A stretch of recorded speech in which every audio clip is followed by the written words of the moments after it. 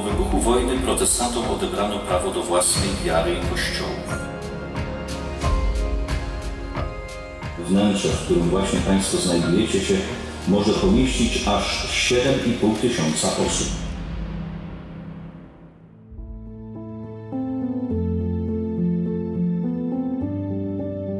Potężne i niezwykłe zabytki z listy Światowego Dziedzictwa UNESCO. Największe drewniane barokowe świątynie w Europie. Jedna z nich to jeden z siedmiu nowych cudów Polski według National Geographic z 2016 roku. Mowa o kościołach pokoju powstałych w wyniku wielkiego konfliktu wojny 30-letniej. Ich początki nie zapowiadały się kolorowo, a wręcz przeciwnie. Katoliccy Habsburgowie narzucili luteranom takie warunki, które były z góry skazane na niepowodzenie, ponieważ skromne kościoły miały nie przetrwać próby czasu. Zbudowane wyłącznie z drewna, piasku, słomy i gliny. Brzmi nierealnie? Zapraszamy na materiał o przepięknych budowlach z niezwykle ciekawą historią, o których mowa na całym świecie. Zacznijmy od tej najpiękniejszej i największej drewnianej barokowej budowli sakralnej w Europie. Już sam fakt wpisania ewangelickiej świątyni pokoju w Świdnicy na listę Światowego Dziedzictwa UNESCO to jest coś, ponieważ na całym Dolnym Śląsku wpisane są jedynie trzy zabytki. Poza nią znajdziemy Kościół Pokoju w Jaworzy, do którego przejdziemy niebawem, oraz halę stulecia we Wrocławiu. Wnętrze świątyni może pomieścić aż 7,5 tysiąca osób. Wydaje się to aż nieprawdopodobne, ale tak dużą liczbę miejsc uzyskano dzięki emporom biegnącym przez dwie kondygnacje.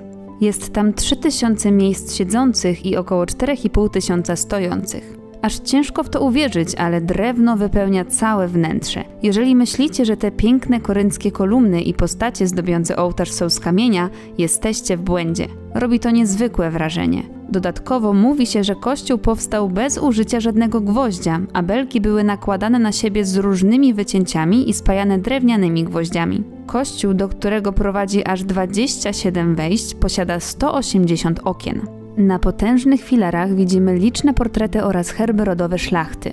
Nie tylko arystokraci mieli swoje loże, ale również kupcy, rzemieślnicy czy piekarze, którzy również fundowali ten kościół. Nad głównym wejściem widzimy najbardziej bogatą i zdobioną lożę należącą do właścicieli zamku książ potężnej rodziny Hochbergów. Spójrzcie na ten królewski przepych, piękne malowidła oraz tarcze z motywami herbowymi szachownicy, lwa, żurawia i dwugłowego orła. Wyróżnia się na tle pozostałych swoim położeniem, ponieważ jak widzicie wisi nad wejściem naprzeciwko ambony. W ten sposób oddano honor hrabiemu, który podarował 2000 dębów, czyli aż 2 trzecie drewna na budowę świątyni. Ambona umieszczona jest w centralnym miejscu, by wierni mogli dobrze słyszeć i widzieć pastora. Na balustradzie znajdują się cztery małe klepsydry. Ich ilość nie jest przypadkowa. Każda z nich odmierzała 30 minut, co sumuje się w dwie godziny i właśnie tyle musiało trwać kazanie. Co ciekawe, ze względu na doskonałą akustykę kościoła powstała loża szpiegowska, do której dostęp miał wyłącznie namiestnik cesarza.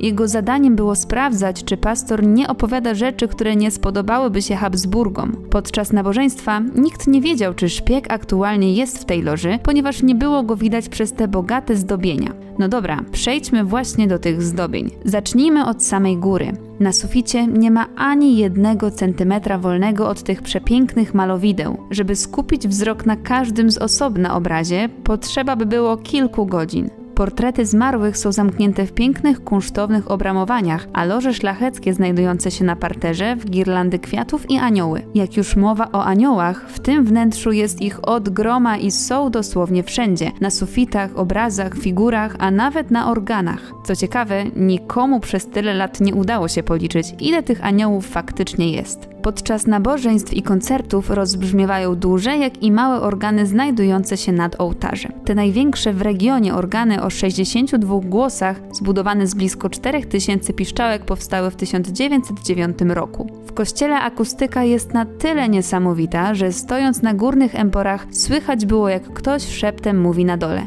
Ten niezwykły wystrój i doskonała akustyka sprawiają, że to miejsce przyciąga wielu muzycznych mistrzów.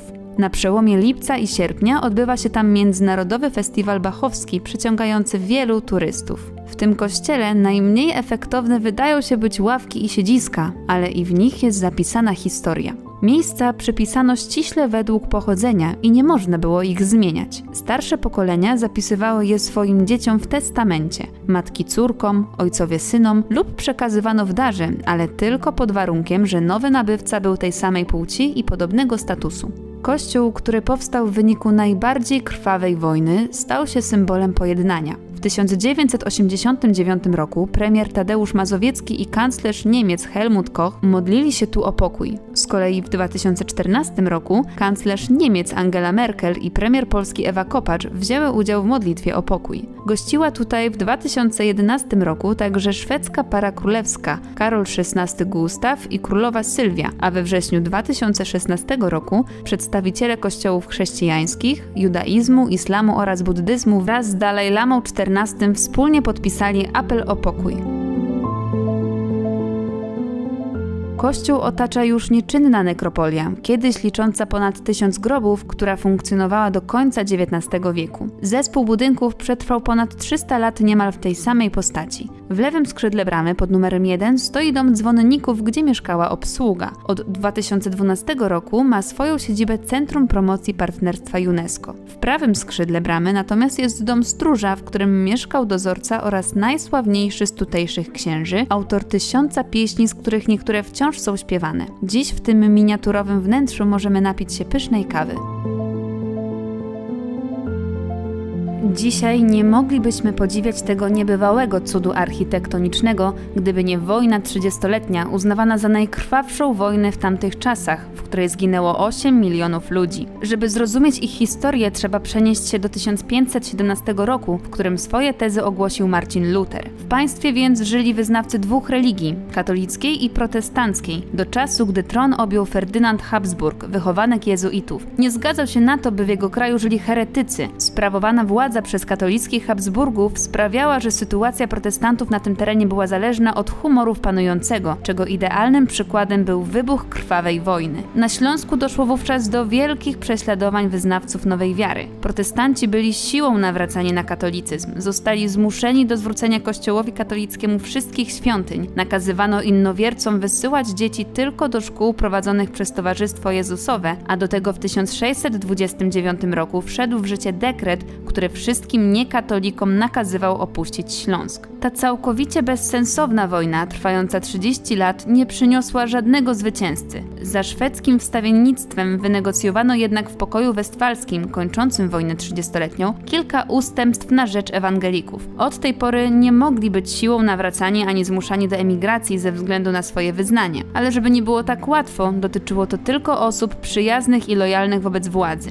Zagwarantowano im również prawo do uczęszczania na nabożeństwa oraz pozwalono na budowę trzech nowych świątyń na przedmieściach Świdnicy, Jawora i Głogowa. Cesarz nie był zachwycony, dlatego długo zwlekał z wyrażeniem zgody na ich budowę. Oczywiście chciał przy okazji upokorzyć ewangelików, dlatego pozwolił im wybudować je wyłącznie poza murami miasta, bez wież i dzwonnicy, tylko z nietrwałych materiałów z drewna, piasku, słomy i gliny. Nie mógł przypominać kościoła, a budowa nie mogła przekroczyć roku. To miały być budowle gorszego sortu, przypominające bardziej szopy niż wielkie osiągnięcia architektury sakralnej. Świdniczanie wykazali się wówczas niezwykłą zaradnością. Najbiedniejsi przynosili nawet po jednej desce. W budowę zaangażowali się przedstawiciele wszystkich stanów, od szlachty przez mieszczaństwo aż po chłopów. Jeden świdniczanin wyruszył w podróż po europejskich dworach protestanckich, żeby prosić o pieniądze na budowę. I udało się. 24 czerwca 1657 roku, po zaledwie 10 miesiącach budowy, odprawiono pierwsze nabożeństwo w kościele pokoju w Świdnicy.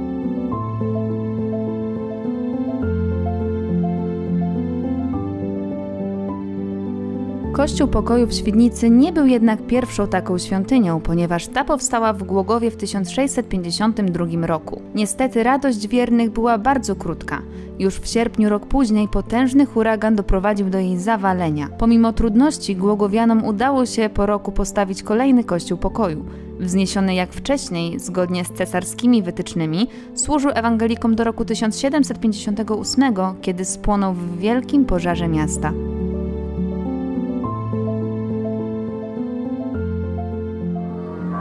Witamy Państwa w Ewangelickim Kościele Pokoju w Jaworze, wpisanym w grudniu 2001 roku na listę Światowego Dziedzictwa Kultury UNESCO.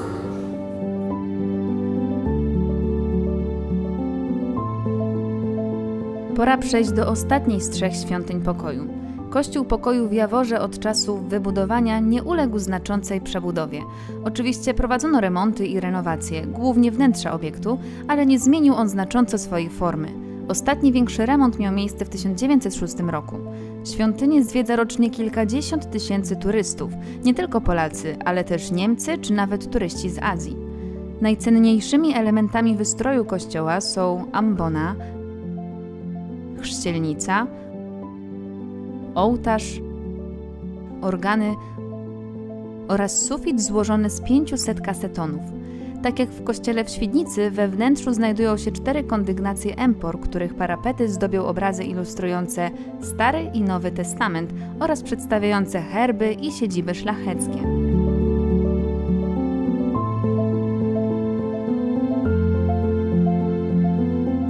Podobnie jak w pierwszym kościele, akustyka również jest niesamowita, dlatego co roku odbywają się tu jaworskie koncerty pokoju oraz Śląski Festiwal Muzyczny.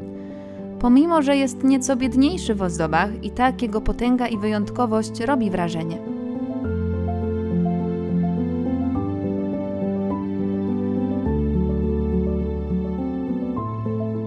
Powstałe w wyniku wielkiego konfliktu kościoły pokoju dopiero po przeszło 300 latach stały się tak naprawdę prawdziwym jego symbolem. Wspaniałość i trwałość wzniesionych przecież z nietrwałych materiałów budowli docenia wielu turystów, którzy przyjeżdżają tu z całego świata. Pomimo, że to nie była nasza pierwsza wizyta w tych kościołach, byliśmy jak zwykle oczarowani ich potęgą. Jeżeli jeszcze nie mieliście okazji zwiedzić tych świątyń, to serdecznie polecamy, bo są to miejsca, które naprawdę warto zobaczyć. Jeżeli podobał się Wam nasz materiał, dajcie łapkę w górę, zostawcie komentarz dla zasięgu i zasubskrybujcie nas, by być na bieżąco. Do następnego!